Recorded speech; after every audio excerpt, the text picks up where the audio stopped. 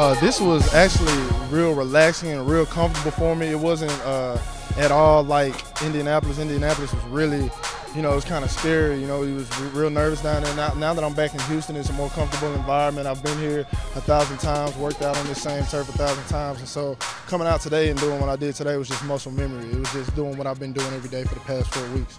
Overall, I think I did really good. Uh, I got, I said some times I wanted to get today, and I reached all of them except for the 225. Uh, I wanted 30. I got 29, so I guess that's pretty good. Um, today was, was pretty good today as far as everybody competing and just trying to do what they can or been preparing to do throughout the whole semester just for this day. So I think overall today was a good day for us, everybody who, um, who did pro day. It felt okay. I don't think I PR'd on too many things, but um, they tell me the pro day is about 5% of the actual draft process anyway, so these scouts done their homework. This was just a final assessment.